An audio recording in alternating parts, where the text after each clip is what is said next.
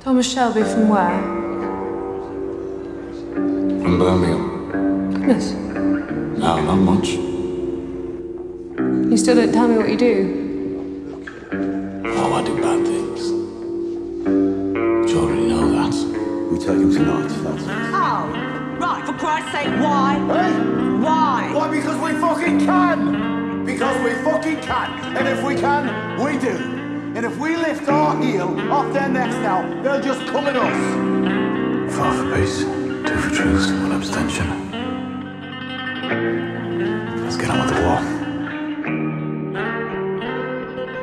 You know, gentlemen, there is hell. And there is another place below hell.